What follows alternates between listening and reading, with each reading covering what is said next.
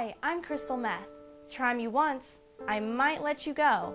But if you try me twice, then I'll own your soul.